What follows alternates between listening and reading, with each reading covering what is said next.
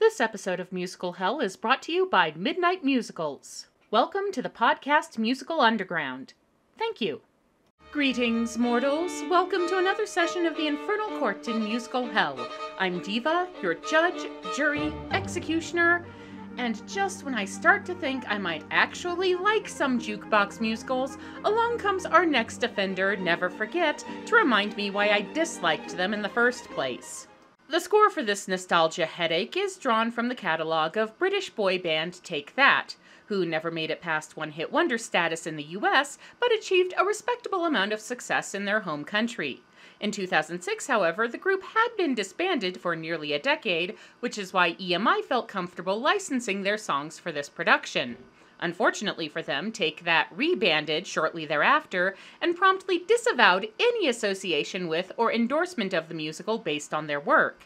Lead singer and songwriter Gary Barlow kinda came around to the idea eventually, possibly because he realized the show could be a boost to the group's reunion, but based on the pro shot filmed in Take That's Home of Manchester, I'm not quite so sanguine. So let's examine the case of Never Forget. With dramatic fanfare and a set that looks like a knockoff of the last Company revival, we are introduced to young Mancunian Ash, who is in the midst of proposing to his girlfriend Chloe.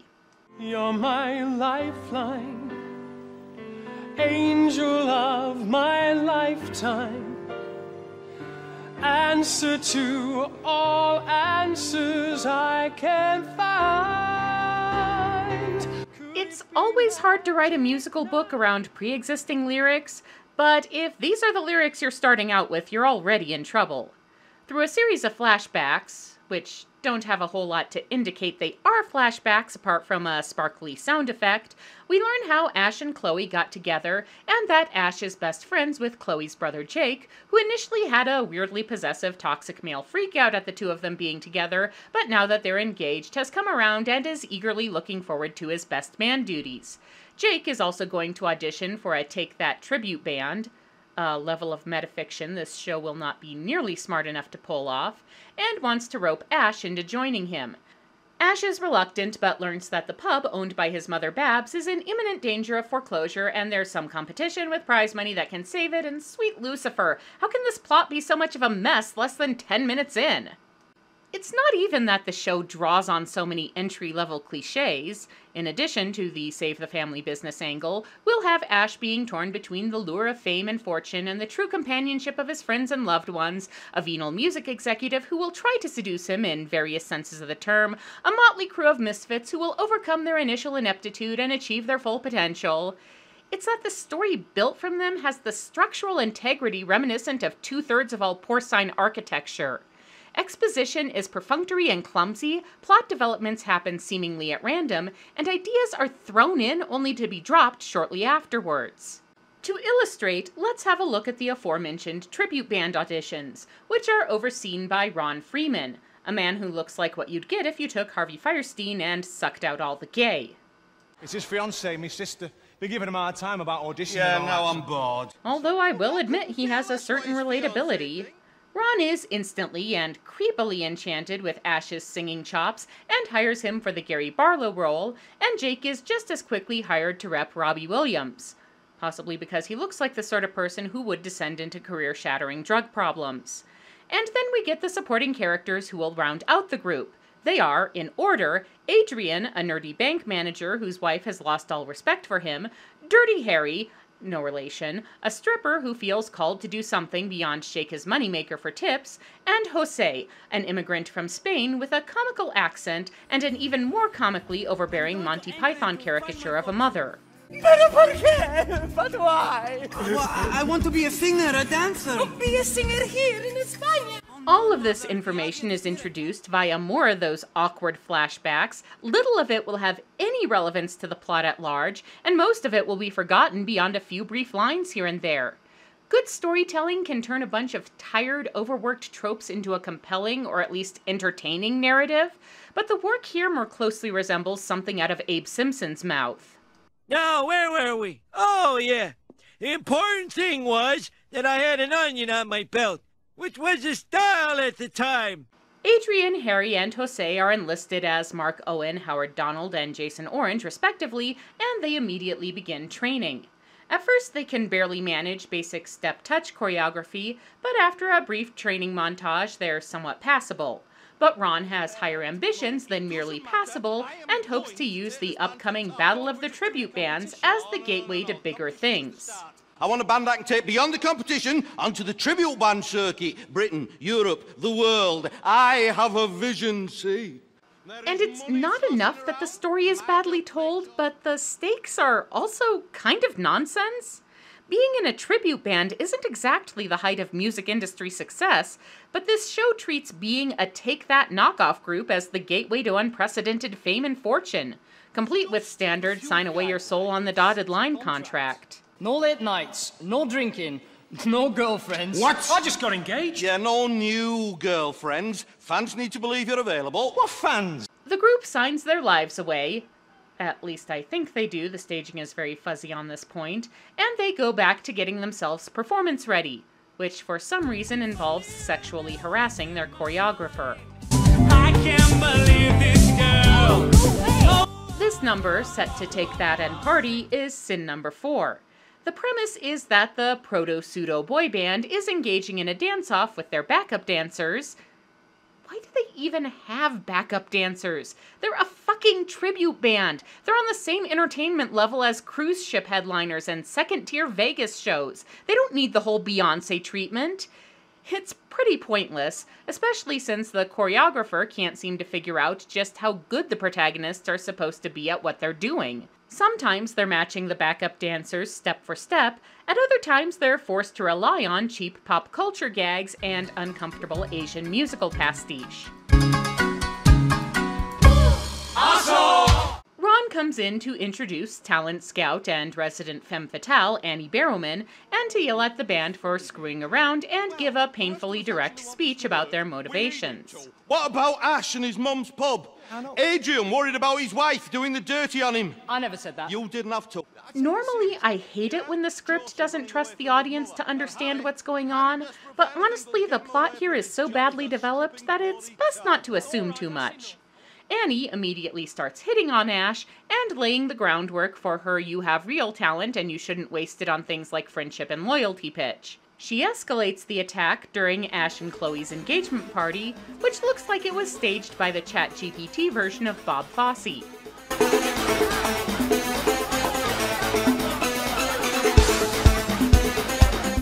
Chloe is very upset when Ash starts ignoring her at their own engagement party, and Ash doesn't understand why, proving that he's not the pointiest pitchfork in the lake of fire and brimstone. So Chloe watches from the sidelines in her modest white dress while Ash dances with Annie in her immodest black dress. Really subtle there, and eventually starts downing tequila straight from the bottle as the stage goes all red washed. Oh, you did not just reference one of the greatest dance sequences in musical history in the middle of your barely passable dance sequence. Bad jukebox show, bad, no biscuit! But the more pressing issue is, I really don't believe this love triangle they're trying to set up here. Ash doesn't have chemistry with either woman, Chloe is kind of a cipher for most of the show, and Annie never really projects the cunning and aggressive sensuality for the manipulative man eater type she's being set up as which makes the scenes when Chloe is obviously threatened by her ring hollow. Do you fancy her? No, don't be ridiculous. I don't mind if you do. I, I don't. I mean, people in relationships, sometimes they do, don't they? I mean, I mean, they fancy other people. I mean, there's no shame in it, and, and I wouldn't blame you. Wouldn't- Chloe, do you fancy Annie? Because honestly, that's what I'm getting here. I mean, it's okay if you do. Honestly, it would make for an interesting change of pace, and I'm not really buying that Ash fancies her. Ash and Chloe kiss and make up for the time being, and the band. Do they even have a name? Most tribute acts are called something like the Musical Box, or Purple Rain, or the Fab Faux. Who are these guys? Lower than lower? Whoever they are, they have their first gig and it doesn't go well, as Adrian gets stage fright and pretty soon 80% of them are noping out. So it's up to Ash to get his lips right up next to the mic and start the show. He said she's moved on, you see. All I have is a number. You better ask her, not me. This This encourages the rest of the group to come in on backup, and they end up a big success. For certain values of the term. Thanks to you, I shall be. I will be the new kings of the of the tribute band world. Yeah, that and a good juggling routine will get you like third place on Britain's Got Talent, your point? Ron and Annie are all ready to get Ash in on a solo contract based on the strength of that one performance, with Annie tempting him by offering 10 grand, which he hopes to use to save his mum's pub. But to do that, he would have to turn his back on his mates and perform in the competition. As what? A Take That Tribute solo act? A plot this basic should not be this confusing! Anyway, Ash goes to his friends and tells them he's considering Annie's offer, even though Babs isn't really invested in keeping the stupid pub in the first place. Hey, don't drag me into this. But Ash has decided this is his chance to make something of himself, and he dives headfirst down the situational narcissism slope as he alienates his bandmates Jake and Chloe in quick succession. Yeah, well, Jake's my brother, and I won't stand by while you just go and mess him around. Oh, so this is what it's going to be like, is it, for the rest of our lives? Everyone else first and me second. Oh, don't be ridiculous. You're going to be my wife, Chloe! Chloe tells Ash that he's changed, something which really isn't conveyed in the acting or the script, but trust her on this, and that she needs more time to reconsider their engagement. And so a disheartened Ash performs the only song American audiences will recognize. Whatever I said, whatever I did, I didn't mean it. I just want you back for good. Back, want you back. I want you back for good. Again, a lot of jukebox musicals struggle at least a little bit with finding ways to make the songs and the narrative mesh together, but this one is spectacularly bad at it. At best, the songs convey general vibes rather than specific emotional or dramatic moments. At worst, they're seemingly random. Take the use of Want You Back for the Act 1 finale. Why would Ash and Chloe immediately follow up the major crisis point in their relationship by singing about how they didn't mean to hurt the other and will do anything to get back into each other's good graces? Because it makes for a good set piece with rain and dancers swinging umbrellas about, that's why. The randomness is even worse following intermission, with the remaining four members rehearsing or performing or I'm not even sure what, but it's a big production number with a sort of fashion based theme, with dressmaker dummies and a couple quick change artists for some reason, and an extraordinary amount of clothing getting ripped off.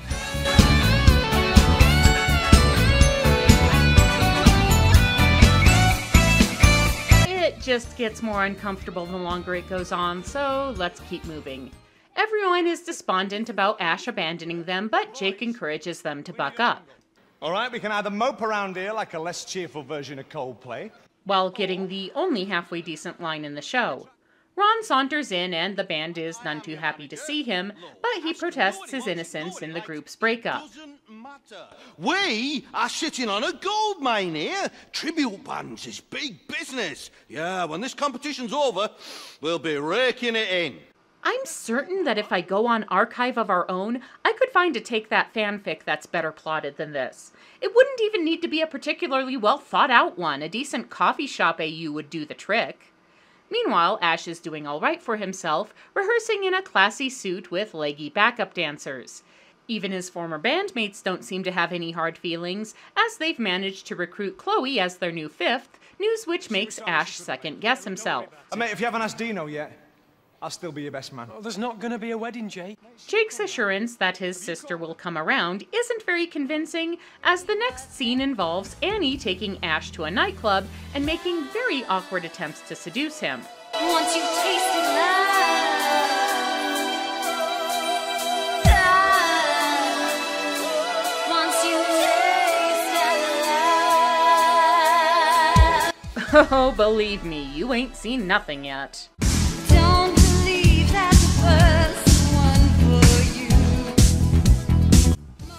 90 minutes, but we finally got some decent camp with Annie going full leading player in Pippin. After a tasteful fade to black, Chloe shows up at Ash's place with the intention of patching things up, and what can only be described as spectacularly bad timing. Ash, The heartbroken Chloe tells Ash to leave her alone and sings a sad breakup song that is one of the better utilized in the score.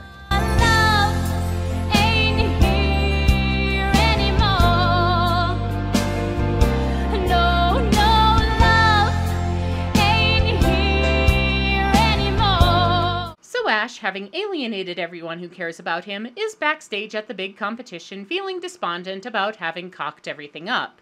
To drive the point home, Babs comes in and lectures him about said cocking up of everything. What do you want me to do? Pull your head out your backside and look around.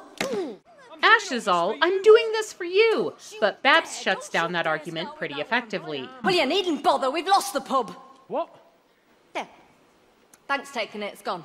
Even better, Annie comes in and, after getting a telling off from Babs that Annie hasn't been nearly bitchy enough to deserve, she reveals that the money Ash thought he was getting from his solo contract was actually the price required to buy out his original contract from Ron. So, Ash is an idiot who doesn't read the fine print, and somehow that's all Annie's fault, and also his entire character arc of needing to choose between material success and true friendship becomes a lot easier as the motivation for said material success no longer exists, and the material success never really existed in the first place.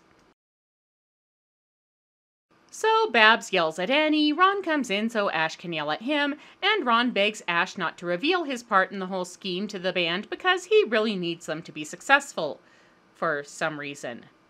Speaking of, they're getting ready to go on stage and need help getting psyched up because Adrian's wife and Harry's stripper pals and Jose's mom are all in the audience and we'll never see them, but we're still pretending their backstories matter. If I can't perform with you lot, I don't want to perform at all. Well, The guys forgive Ash pretty easily, but Chloe isn't ready to make up and flat out refuses to perform with him. But Jose encourages everyone to soldier on. Now is the time for cojones, you understand me? So, we go out there and, and we show them our cojones, huh?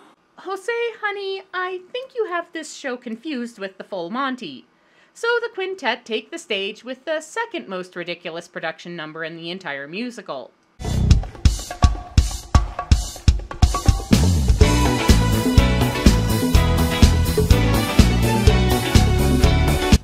Know, those costumes are Celestial Infernal cultural appropriation.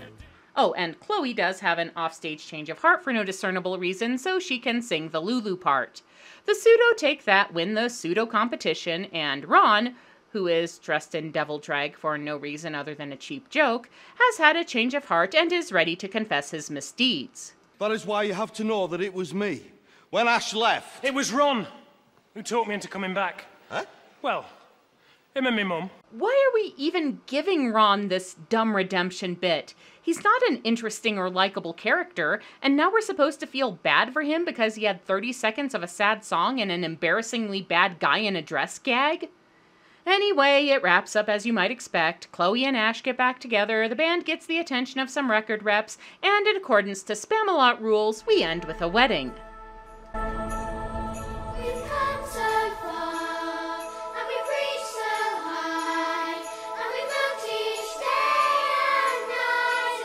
Which apparently takes place at Christmas and features the Saturday's Warrior Children's Chorus as the party band. Never Forget wants to be a feel good, silly fluff show, but it doesn't have the skill to pull even that much off. The plot is an absolute mess. The characters are initial concepts that are never developed by either the script or the actors, and the songs are likewise general ideas in search of a story to belong to, making the results, ironically, quite forgettable. Therefore, the Court of Musical Hell orders the following punishments.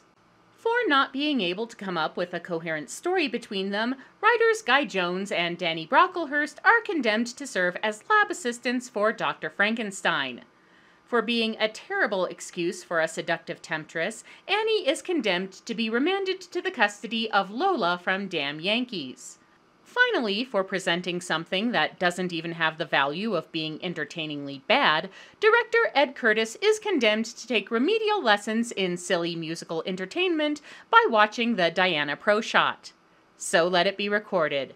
This session of the Infernal Court in Musical Hell is now adjourned.